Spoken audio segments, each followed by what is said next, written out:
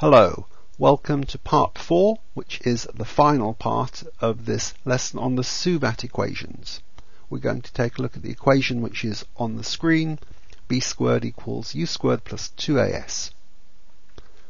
We'll start with a simple example of using the equation. Then we'll look at the derivation of the equation. We'll do some problem solving using the equation and then because this is the final part of the lesson on the Suvat equations, we'll do a, a quick review of the Suvat equations. You will need a pen, paper and calculator to get the most out of this lesson, so if you need to go and get them, you can pause the video now.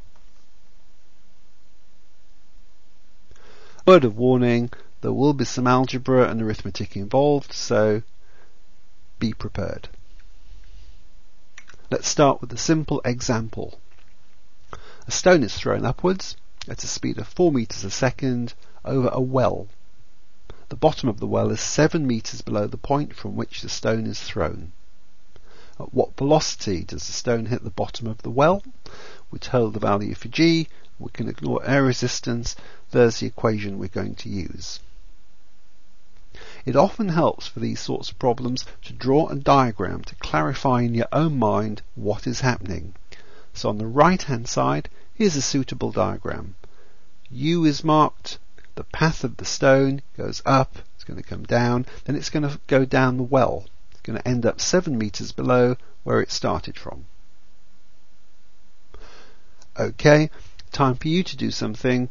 Pause the video, see if you can work out the velocity when the stone hits the bottom of the well. Let's go over this. We've got to be very careful about getting the signs, the plus and minuses correct. If we use the normal sign convention, upwards is positive, downwards is negative. U will be plus 4 meters a second. G acceleration will be minus 9.8 meters per second squared because gravity acts downwards. And the displacement will be minus 7 meters because the stone ends up 7 meters below its starting point. Or we could have used the opposite sign convention. We could have said downwards is positive, upwards is negative.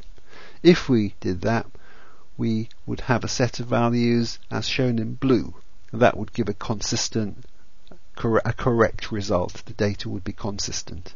But make sure you get your plus and minuses the right way around. I'm going to stick to the normal sign convention as shown in yellow. That's how we'll do the rest of the problem. All we have to do is substitute the values into the equation. And I've shown the working there. I won't go through the details. We end up with v is the square root of 153.2. And square roots have two values, positive and negative. So the velocity could be plus 12.4 meters per second or minus 12.4 meters per second. And of course, with our downwards negative convention, the answer would be v is minus 12.4 meters per second. It's a downwards velocity. We will just ignore the positive solution. Let's take a look at where this equation we're using comes from. The equation is shown on the top left in yellow. We can derive it. All we need is some algebra using the equations shown in blue on the top and this relationship which I hope you recognize from algebra. v plus u into v minus u is v squared minus u squared. It's worth you having a go at this for yourself. So see if you can prove the equation in yellow use, using the other equations shown. Pause and have a go now. Let's go through it. Start with the top middle equation. Can we get an expression for u plus v? Well, if you multiply both sides by 2 and then divide both sides by t, you'll get 2s over t equals v plus u, same as u plus v. Look at the top right hand equation. Can, uh, I want an expression for v minus u. And if we rearrange the top right hand equation, at equals v minus u. Now, let's do something clever, let's multiply v plus u by v minus u. And v plus u into v minus u is, of course, because v plus, v plus u is 2s over t, and v minus u is at, we've got this equation, which we can expand to give v squared minus u squared is 2as. The t's cancel. Rearrange that and we end up with the equation we were trying to prove. If you want to check that, pause the video and read through that. All we needed was simple algebra. Let's do some problem solving. There will be two problems to have a go at. Question 1. A small plane accelerates uniformly at 1.5 meters per second squared from rest along a runway. The minimum speed required for takeoff is 150 kilometers per hour. Question part A. Convert 150 kilometers per hour to meters per second. We're going to have to do that so we can use our Suvat equation with the acceleration in meters per second squared. We can't work, we can't mix kilometers per hour and meters per second squared. So part one, change to meters per second.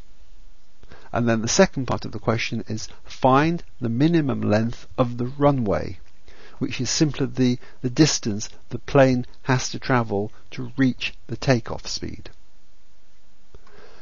Pause the video, see if you can do that for yourself. Let's go through this. 150 kilometers per hour. Well, there are 1,000 meters in a kilometer. So I've got to multiply 150 kilometers by 1,000. That's 150,000 meters. And an hour is 3,600 seconds. So I've got to divide by 3,600. And if we do that, we get 41.67 meters per second. The second part is just to find the runway length, which is the distance the plane travels to reach the takeoff speed. So the final velocity is 41.67, so we want v squared. Because u, the initial velocity, is 0, the equation just becomes v squared equals 2as. u squared is 0. So we've got 41.67 squared is 2 times 1.5 times s. And when we solve that and round it to two significant figures, the same as the data supplied, we get 580 meters. So the runway must be at least 580 meters long. So the plane has enough distance to reach the takeoff speed. Let's do one more question, which is a harder one. Question 2. A car with a uniform acceleration passes point A at 10 meters per second and passes point B at 20 meters per second. How fast was it travelling when it was midway between A and B?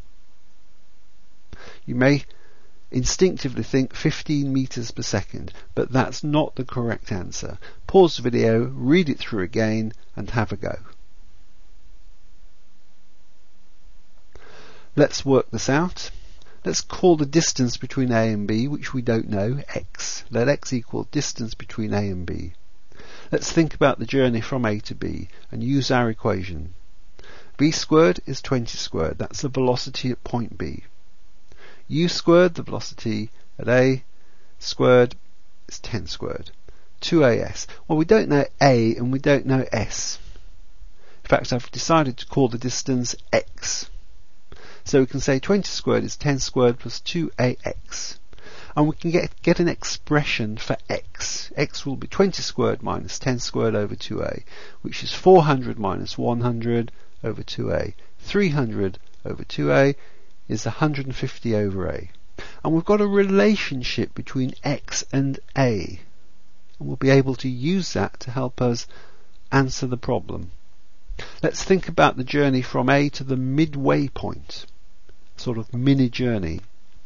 From A to midway, we want the velocity at the midway point, so that will be our v. How big is v? v squared is u squared, which is 10 squared, plus 2as. Well, I don't know a and I don't know s. But I do know 2a times half the distance, half of x, is 2a times 75 over a. Can you see what we've done? Instead of using s, I've used half of the value of x and half of the value of x is 75 over a. So I've got 2a times 75 over a. And the a's cancel and I end up with 100 plus 150. So v is the square root of 250, which is 15.8 meters per second, slightly more than half, uh, slightly more than the average speed. Why is that? Well, if I'd have asked you to work out the speed at the mid time, when the time was halfway, that would have been 15 meters per second. But if we look at the graph showing velocity, not against time, but velocity against displacement, it will look like this. It's a parabola on its side actually. The car would have started from rest at some point. By the time it reached point A, it was accelerating at 10 it had accelerated to 10 meters per second, and by the time it reached point B, its velocity would be 20 meters per second. And I hope you can see midway between A and B, the velocity is slightly more than 15 because of the curve shape. That's the difficult point. That's it. Let's just do a quick review of what we've been covering. One of the key points to remember is the Suvat equations only apply to uniform, which means constant, acceleration. Can't use them if you're not going in a straight line or if your acceleration is changing. There are the four equations we've looked at. I've put one of them in blue because it sometimes is omitted, but it's a very useful equation. Depends what book you're reading it tells you the displacement is average velocity times time, which is a very useful relationship even if it's not given in your book. And occasionally, some books include a fifth formula, which I haven't covered. It's very similar to the third one down, shown it in purple on the board, on the screen. Note there are five variables, S, U, V, A, and T. If you know any three of them, you can find the other ones. For example, if you know V, U, and A, you can find T. If you know V, U, and A, you can also find S. And it's a case of being familiar enough with the equations to know which one to use. Well, thanks for watching. I hope you know a bit more about the Suvat equations. If you watch the videos on projectile motion, you'll find that they need knowledge of the Suvat equations.